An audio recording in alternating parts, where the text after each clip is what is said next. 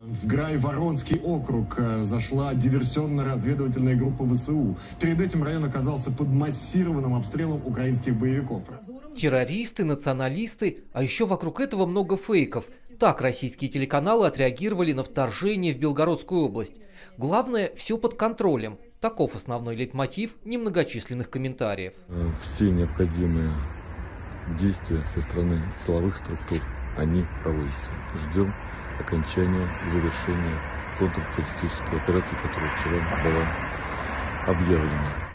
О передвижении диверсионных групп свидетельствуют немногочисленные видеоролики. И полного представления, что именно происходило в Белгородской области, они не дают.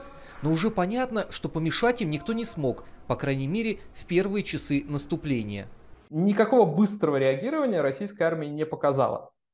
То есть э, даже после того, как сообщения, видео, фото появились буквально в открытом доступе в интернете, после этого прошло не меньше полутора часов, на мой взгляд, э, прежде чем э, российская армия хоть как-то начала реагировать. Но это, конечно, совершенно непонятное промедление, очень странное.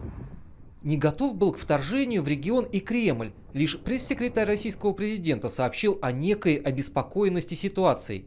Удивляться такой реакции не стоит, считает политолог Дмитрий Орешкин. Война есть война, и побеждает тот, кто действует неожиданно. А в данном случае э, это украинская страна, которая по умолчанию должна была сидеть и не вылезать за свою границу. Так, почему-то думали в Кремле. А, и были очень удивлены, когда оказалось, что вот эти международные признанные границы может нарушать не только Россия, но и э, другие страны. Выводы российские власти сделают, уверен Дмитрий Орешкин, но не публично, и, возможно, о них даже никто и не узнает.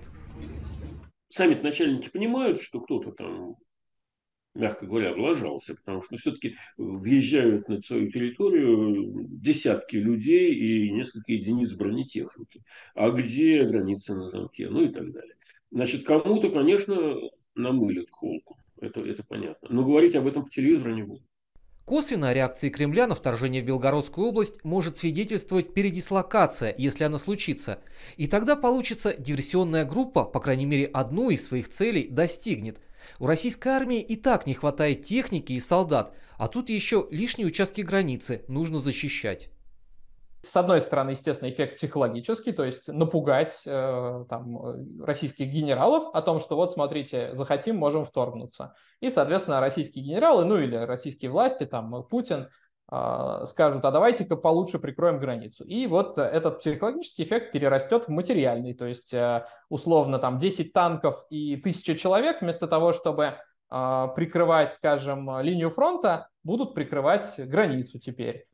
Все произошедшее в Белгородской области кремлевские политтехнологи могут обернуть и себе на пользу, считают наблюдатели, и использовать для подтверждения одного из тезисов, с которым уже не раз выступал Владимир Путин. А вот теперь после этого события, они будут говорить, да, ну вот на нас же напали, да, значит, а Путин был прав, когда он говорил, что он нанес предварительный удар, опережающий удар, потому что иначе бы вот на нас вот так вот все время и наезжали. В чем солидарны многие, так это в том, что проникновение диверсионной группы вряд ли принесет какие-то ощутимые изменения в политике, военной тактике или размещении войск. Важнее информационный эффект и то, как его будут теперь использовать? В начале войны Россия утверждала, что любое нападение на ее территорию вызовет серьезную эскалацию. Что может последовать в ответ на случившееся в Белгородской области?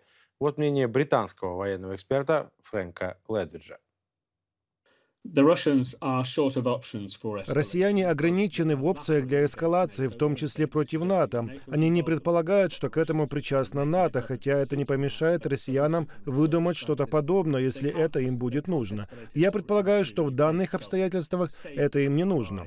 Они не могут создать эскалацию и в самой Украине. Этого не произойдет. Что касается применения нового оружия, я также очень сомневаюсь. Мы услышим в ответ лишь много бряцания оружием и угроз, но я не думаю, что мы будем наблюдать видимую эскалацию.